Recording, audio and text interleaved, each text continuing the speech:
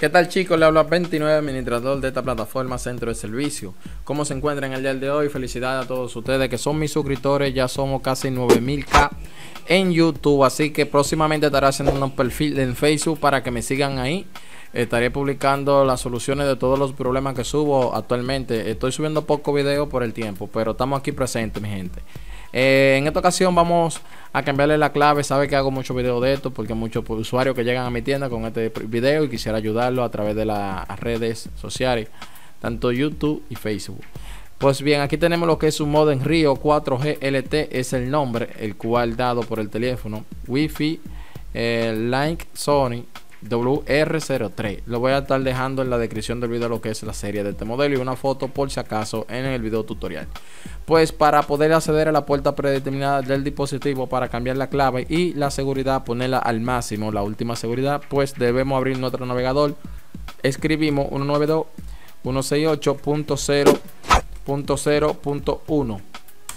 Damos a siguiente y cuando demos a siguiente esperamos que cargue la plataforma. Recuerden, debemos conectarnos a la red Wi-Fi a la cual nos está emitiendo la cual nos está emitiendo nuestro modem para así poder acceder a lo que es el puerto. Como ven aquí, ya estamos en la página principal y aquí escribimos la siguiente dirección nuevamente 192.168.0.1 y le damos a iniciar sesión y nos va a mandar de una vez e inmediatamente a lo que es el portal de Río.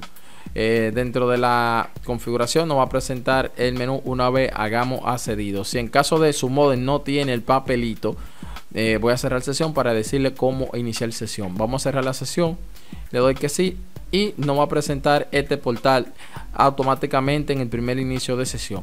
Aquí nos pide contraseña. Mayormente estos dispositivos traen la contraseña predeterminada admin como usuario y admin como contraseña. Pueden darle aquí y yo voy a iniciar sesión. Automáticamente inicia sesión, voy a entrar a la plataforma. Vamos a cerrar este apartado aquí, no hace caso eso que nos presentó. Pues sin embargo, sí podemos hacer lo siguiente, podemos tirar una vista, una vista rápida a la interfaz para poder identificarnos en el área donde vamos a configurar. Sabemos que en esta parte aquí morada dice estado de conexión, configuración de la red con el dispositivo conectado sería 1. Si tiene más de 1 es porque le están robando su, su credencial y usted no se está dando cuenta. Pero esta sería la solución a su problema. Vamos a cambiar la configuración donde dice configuración de Wi-Fi. Nos vamos aquí para cambiar la clave y en este portal simplemente cambiamos el nombre por el cual usted desee. Donde dice el nombre de la red SSID. Aquí ponemos el nombre que usted desee y la configuración son tres que tiene por el momento, pero tiene la última seguridad este modem. Dice abierta eh, PSK que es encriptada pero con muy floja.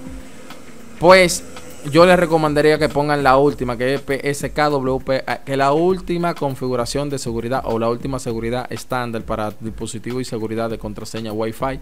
Así que presionamos aquí, cambiamos lo que es la contraseña. Cuando dice frase secreta, quiere decir contraseña. Y si la quiere mostrar, aquí ven. Pero si ustedes quieren, la cambian. Yo en mi caso la voy a dejar así porque no es mía y el dueño es mudo, por así decirlo y se la voy a dejar así más que él no comprende mucho de letra eh, se la voy a dejar por default. Pero ustedes podrían cambiar su contraseña y el nombre de su red. Aquí dice mostrar en pantalla le damos que sí le damos que no para que cuando se le pierde el modem no puedan ver para que el mudo para que esa persona no se muestre en la pantallita que trae por determinado el modem. Así que aquí el número máximo vamos a ponerle aquí 3 eh, por si acaso él quiere compartirlo con dos amiguitos del más y aplicamos la configuración. Saben que me voy a desconectar y me voy a conectar de la red para que surjan los cambios. Pues eso sería todo por el video tutorial de este dispositivo. Si usted en caso de quiere bloquear unos, un usuario para que por más que, por más que se robe su clave no pueda conectarse pues pueden usar la opción de dice filtro de Mac y en este apartado usted va a poner aquí su regla. Lista negra sería la gente que usted no quiere que se conecte. Y lista blanca sería la gente que usted se conecta. Ya esto sería una configuración muy avanzada. Si usted quiere que haga esta configuración, pues a través de otro modem, ya que no tendré este disponible, lo estaré haciendo. Pero le voy a dar una primicia. Aquí en lista negra, eh, usted va a copiar la MAC de su dispositivo. O sea, la MAC del dispositivo de la persona que se le está robando y lo va a poner aquí y le va a aplicar y automáticamente esa persona no se va a conectar a su dispositivo. Pero en mi caso yo no voy a hacer nada de eso, lo voy a dejar sin regla y voy a ir al apartado donde yo estaba configurando dicho modem. Aquí, como había dicho, retroalimentando, cambian el nombre, la seguridad y la contraseña. Me trae en pantalla, le dan que no y un máximo de clientes que ustedes quieran permitir. Yo le voy a poner 3 en caso de. Y aquí le damos donde dice aplicar.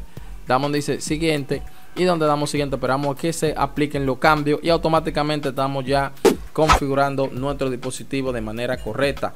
Así que eso sería todo por el video tutorial mi gente. Espero que le haga servido de gran ayuda. Dale like comenta y suscríbete a este portal. Dice exitoso nos vemos en un próximo video tutorial y te recomiendo que comparta este video si te fue de gran ayuda. Nos vemos en un próximo video tutorial mi gente. Que pasen feliz resto de la noche